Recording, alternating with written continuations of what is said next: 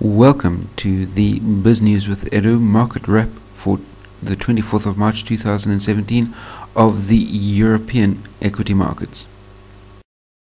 Like and subscribe for more.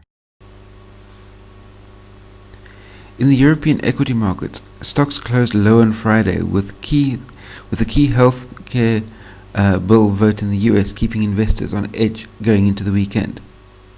STOXX Europe 600 uh, lost 0.2% and Germany's DAX 30 index rose 0.2%, France's CAC 40 fell 0.2%, the UK FTSE index lost 0.1% and the uh, however Smiths Group PLC rose 2.9% after the engineering company said that its pre-tax profit had more than doubled in the first half thanks to some robust sales and profit coming from a disposal.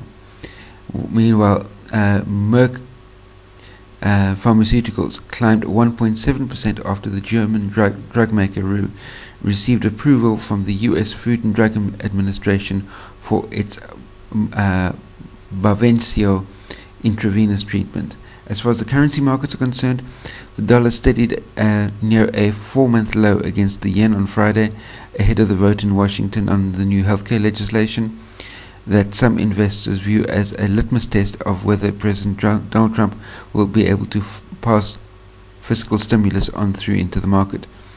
Against the Japanese yen, the dollar was up 0.14%, the euro gained 0.2% to the uh, to close at a seven-week peak against the dollar, and even touched one dollar eight point two five cents um, on Wednesday on the view that the European Central Bank was heading towards a tightening of monetary policy amid the accelerating growth and inflation rates across the Eurozone.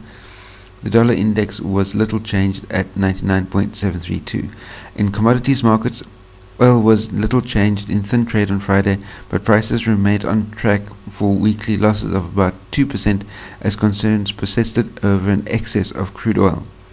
The U.S. West Texas um, Intermediate crude futures went up 3 cents at 47.73 a barrel and set to uh, for a more than 2% loss on on the week. Brent crude was down 4 cents at 50 54 and down 2% for the week. Spot gold was up 0.2 at $1,247.65. An ounce and the metal has risen 1.6% this week and on Thursday touched at 1,253.12, uh, the highest price since February the 28th. Silver was up 0.7%, platinum was 0.6% higher, and palladium was up 1.6%, giving it having hit a two-year high point of $815.10 early in the session.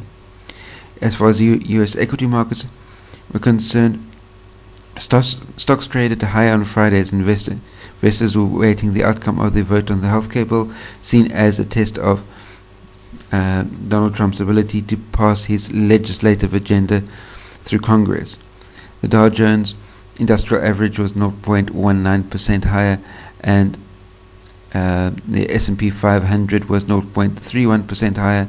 The Nasdaq Composite was up 0.58%, and seven of the 11 major S&P sectors were higher, with the technology index sector 0.5% rise leading to leading the gainers. Micron Technology dumped 9.9% a day after the chip maker's current quarter revenue and profit forecast beat all expectations. Uh, GameStop, however, fell 11.7% after the company's full-year profit forecast fell well below estimates. In mar bond markets, U.S. Treasuries were uh, steady on Friday as investors waited on the highly anticipated vote in Washington, and uh, the benchmark 10 year notes were unchanged in price to uh, a 2.42% yield.